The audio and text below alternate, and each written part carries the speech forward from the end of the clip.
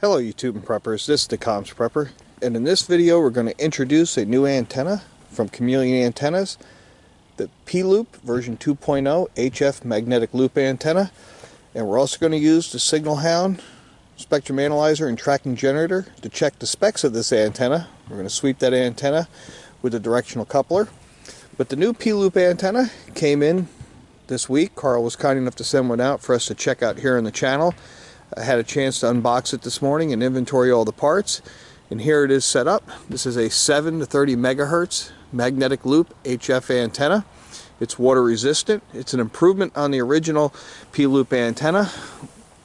It has a tuning knob on the bottom side of it and it also ships with what they call a power compensator which allows you to operate up to 60 watts in single sideband mode. The original antenna I think was limited to 20-25 watts.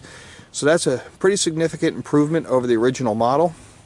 The antenna ships with the power compensator, the tripod you see here, the tuning box, the RF cable that connects to your radio, the inner loop, and of course the outer loop. There is an optional booster loop kit that sells for I think $65, which is sitting here on the ground.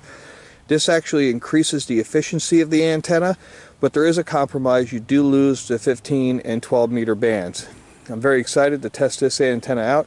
I don't have a radio out here, but we're going to hook it up to the spectrum analyzer and the tracking generator and adjust the tuning knob and see how it does when it sweeps the band see what the SWR looks like, and also throw a few markers in there and see what the bandwidth is once it is tuned. How far above and below can you actually operate once you get it tuned on that specific frequency.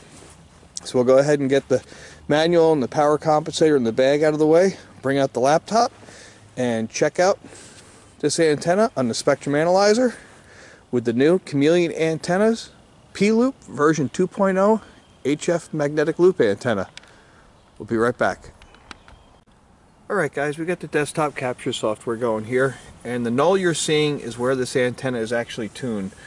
We're starting the sweep at 7 megahertz and we're stopping at 8 megahertz and as I rotate the knob you'll see that null move back and forth across the band and that's the actual tuning of the antenna. Now I don't have this in SWR mode yet and we'll do that next.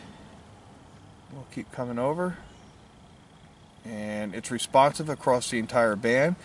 So let me go ahead and put this into the SWR mode. I'm going to do divisions for one and we'll go ahead and there we are we're in SWR mode and you can see down here that there's not a whole lot of bandwidth there so when you're tuning this, each time you change frequency, you're going to want to retune. But I'll go ahead and move the knob down and watch, let you see the sweep across the band as we work down towards the bottom end of the 40 meter band. Now this may seem choppy because it takes a little bit for the tracking generator to catch up with the spectrum analyzer. But as you can see, when I stop tuning the knob, we're just about down to 1.2 1.3, 1.4, 1.5 to 1 for an SWR. We're definitely not hitting the 2 level. So this antenna has no problem tuning the 40 meter band. Uh, to keep this video short, I'm not going to do all the bands, but you can see it doesn't take much to move it along and keep tuning. I'm doing minor adjustments on the knob, but it's very responsive, and the tuning is very flat, working its way across the bottom there. So you can see the SWR is good. It's easy to tune. I'm looking forward to getting this antenna in the field. And as always, thank you for watching my videos and subscribing to my channel. This has been the Comms Prepper with a brief introduction for the new P-Loop antenna version 2.0 by Chameleon Antennas and a chance once again to demonstrate how you can use Signal Hound's test equipment in the field, in this case to test the performance of a new HF radio antenna. Thank you for watching guys.